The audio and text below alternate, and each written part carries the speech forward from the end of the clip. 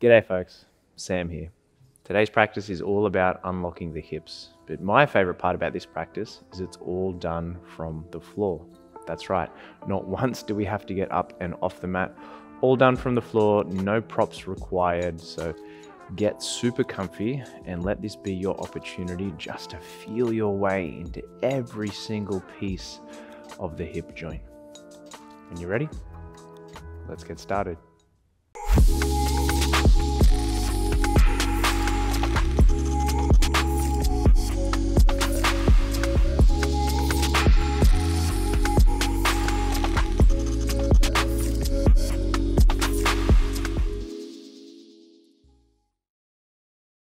Begin today's practice sitting down on the floor just with the soles of feet together and letting the knees fall away from one another. You can use your fingertips for support just to lift your hips so that it feels as though the sitting bones are evenly grounded onto the floor. Then perhaps just take the hands, rest them at the front of the ankles, and feel as though you're pulling the heels towards you as the chest started to rise.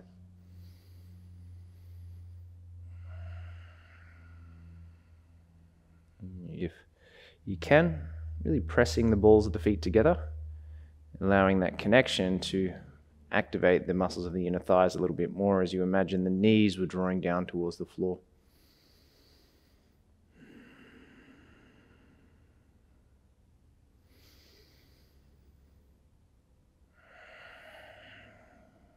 Gently allowing shoulder blades to draw back towards each other. Chest to climb just a little bit higher. Take a couple more breaths here.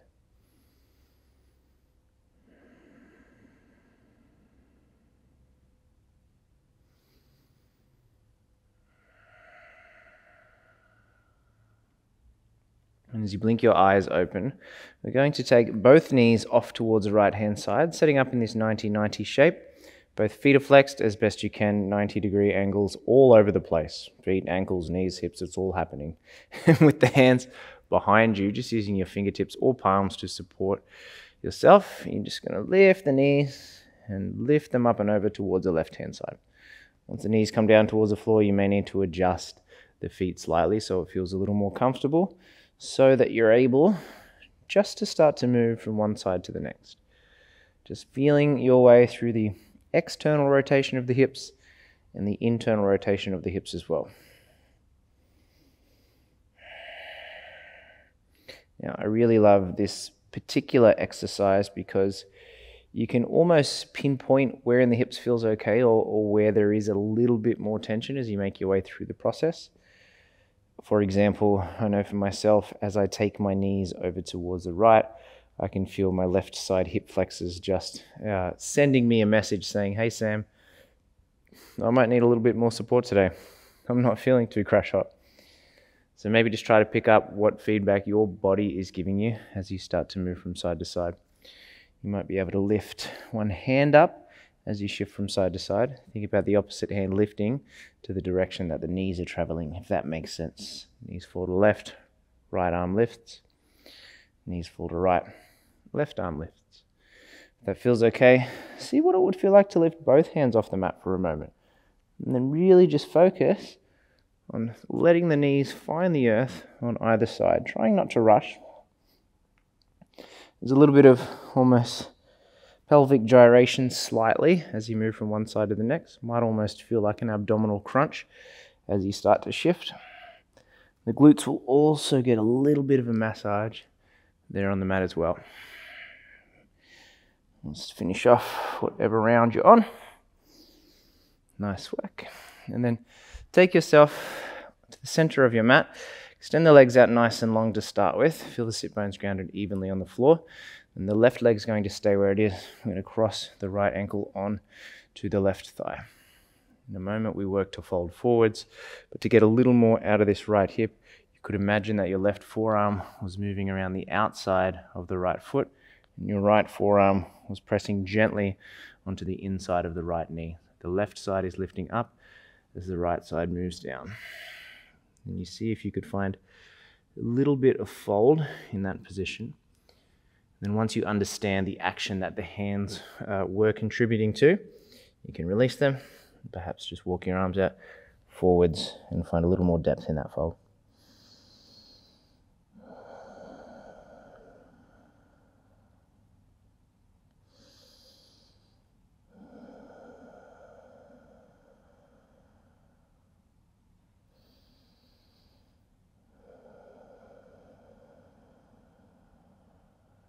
Take another breath here.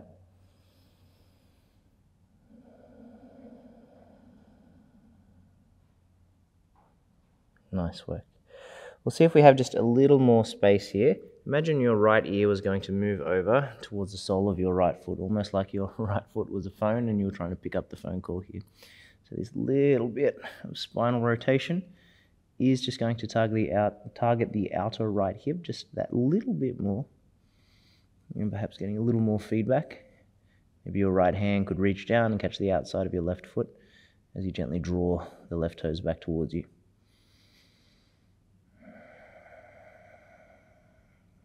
Take a breath.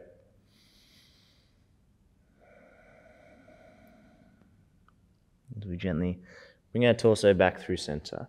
We're going to work to lift up this right leg. Now, option one, you could use your left hand around the right foot, your right hand around the right knee, and lift as though the shin was trying to draw in towards the chest. It might look like this. If you had a little more space, you could use the inner eyes of your elbows to catch hold of those same points. Adjusting so sit bones feel grounded. Trying to draw the calf, almost the inner part of that right calf, towards the sternum. Really pressing your left heel out in front of you. And if you're with me, I'm going to try and very slowly, with control, resist gravity for a moment. and Just slowly start to make your way down onto the floor. Keep pushing the foot into the arms, and the arms into the foot as you make your way down. Get as low as you can go with the left heel still grounded on the mat. In fact, press that left heel forwards. Imagine you were just inching your way a little closer down onto your back.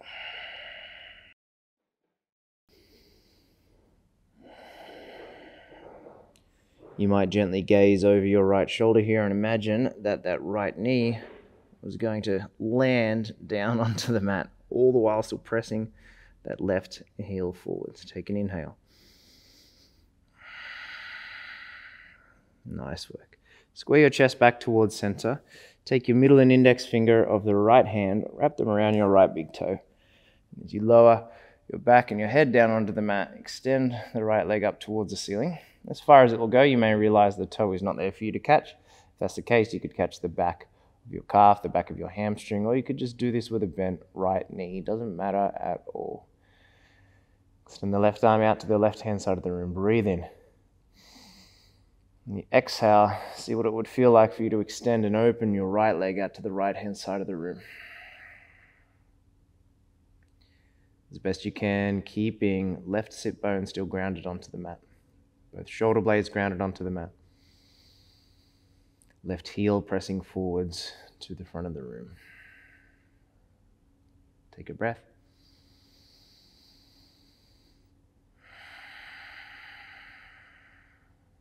Gently bring right leg back through center.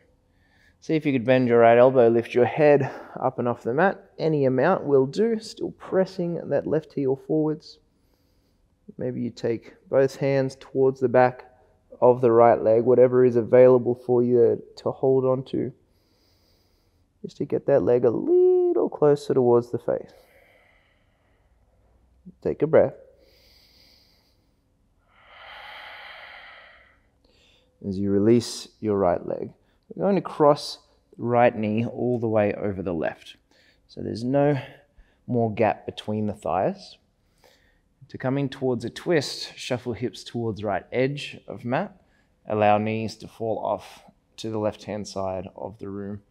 As you spread your arms wide, working to keep both of those shoulder blades grounded onto the mat.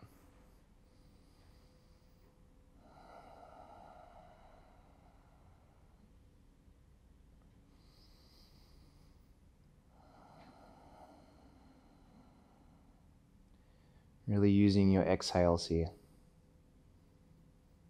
So the exhales, we're allowing that spine just to soften a little more. Trying to lose as best we can the resistance. Trying to allow yourself just to be in the shape. Take a breath.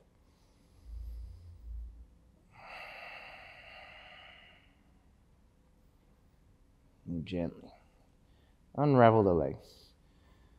Come back through center. And then cross the ankles, wrap the hands around the knees, we'll roll up towards the seat. We'll get to do all that again on the opposite side. So extend the legs out nice and long. Right leg stays where it is this time. Left ankle crosses on the right thigh. So you do your best to try and adjust your sit bones so that you feel nice and even. And remember the, the aim of using the hands here. So the right forearm perhaps will go around the outside of the left foot. And it's trying to pull the foot up gently. And the left forearm just gently on the inside of the left knee, gently trying to move the left knee down. We're not trying to jam it down towards the floor. It's just a gentle shift. And again, once you understand what the arms are trying to achieve there. You could do that without the use of them and just let your arms walk forwards.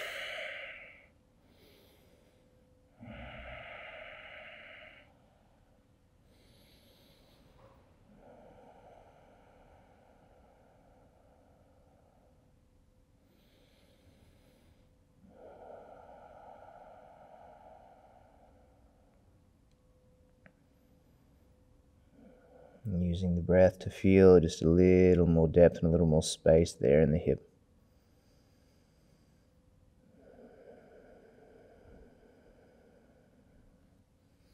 As we come back up towards the seat, we'll see if we can find that gentle rotation, imagining that your left ear was going to move down towards the sole of your left foot. Subtle spinal rotation does absolutely intensify the feel of this stretch.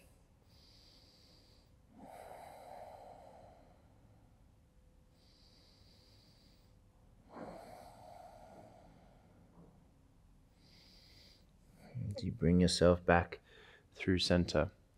Opportunity here to pick up the left leg. Remember the two options we had before. You could use the hands around the foot or the knee if that feels okay for you. Then trying to draw the shin in towards the chest a little bit. Try to keep the left foot flexing as best you can. If there is a little more space, work the eyes of the elbows. Now that is absolutely going to make this a lot more challenging. So you take the option that works for you. Calf drawing in towards the chest, right heel pressing forwards towards the front of the room.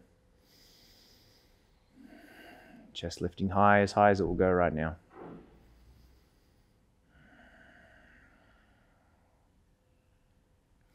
When you feel ready, when you've got a strong grip around the leg, you try to lower spine down onto the mat, still keeping the right heel as close to the ground as it possibly can be. Stamping heel forwards to the front of room.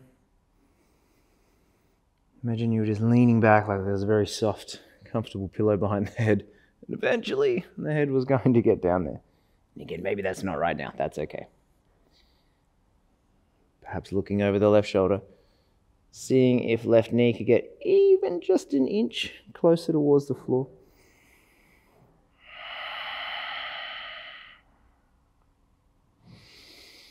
And coming back through center.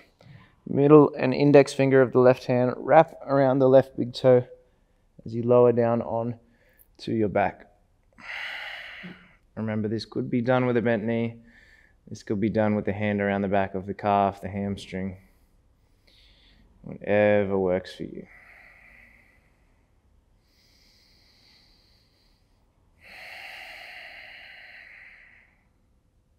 With this space, you start to slowly open the left leg out to left hand side. Again, let your priority be lengthening the right leg and keeping the right sit bone still grounded onto the mat. So you don't need to completely just flop onto the floor.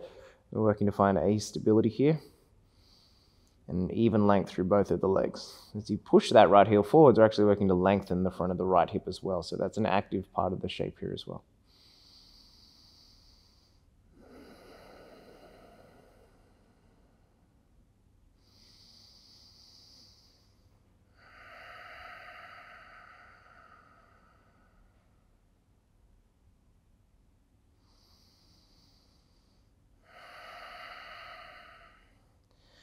very mindfully.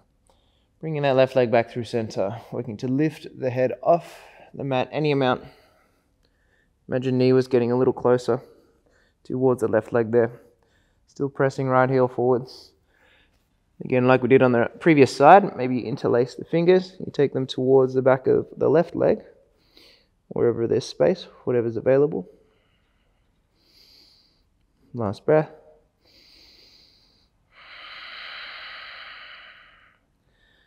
Mindfully release.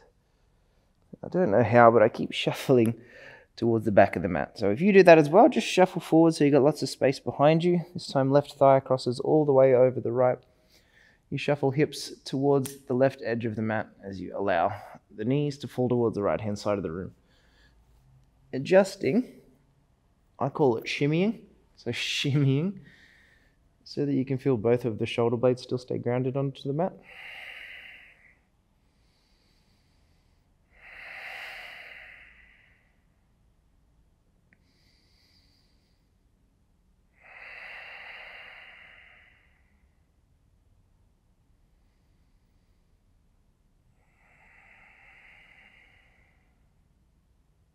Remember how important those exhales are, especially when we're twisting. They're there to help you release and to soften.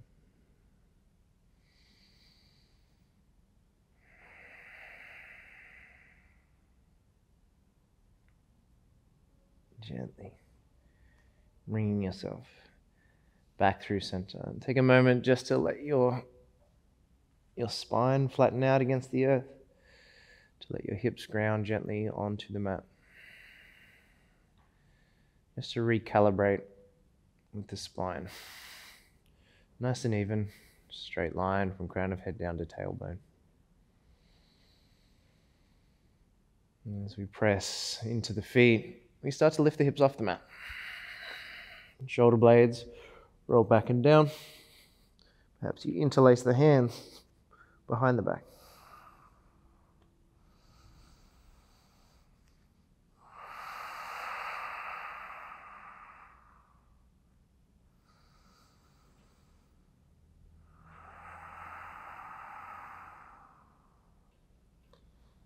Take one last breath.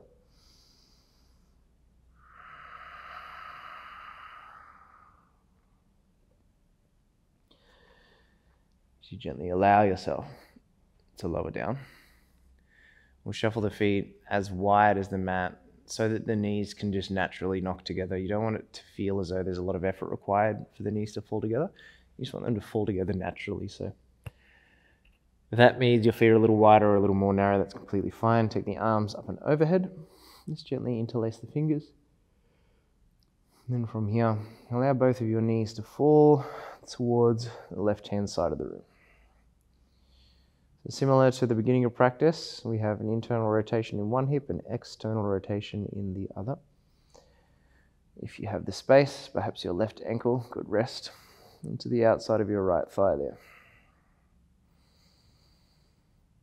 Using the weight of the left leg to find a little more length for the front and the outside of the right hip. If you can keep a little bit of activity in the right glutes as well, it'll just help to support the front of the right hip a little bit more.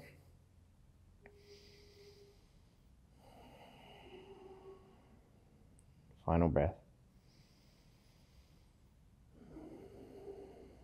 Gently release the left foot for a moment. Take your time to let the hips come back through center. Again, feet are wide, knees together, and the knees will fall off to the right hand side of the room. Taking arms overhead just allows a little more length through the torso as well. Perhaps right ankle rests on the left thigh. I don't know why, whenever I reach my arms over my head in this position, the yawn always sneaks out. So I tried my best to cover it. There was actually one on either side, but you may have you may have caught me out. If you did, let me know in the comment section below. Sometimes those yawns just want to come out, though. No point trying to stop them.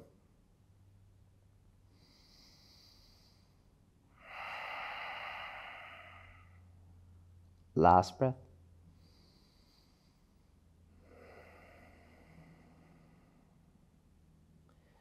Release the right foot gently. Let the hips come back through center. Now, we have two options here to seal practice. If you would like, you could bring the soles of the feet together and let the knees fall out wide, this Supta Baddha shape, allowing arms to rest down by the side. Now, if your hips feel comfortable in that position, I encourage you just to stay there for a few moments. But if it feels a little tight through the inner thighs and the groin, just extend the legs out long and come towards Shavasana. And let this be your opportunity just to do nothing for a few moments. Let's relish in the fact that not once did we have to lift our bottom up and off the mat.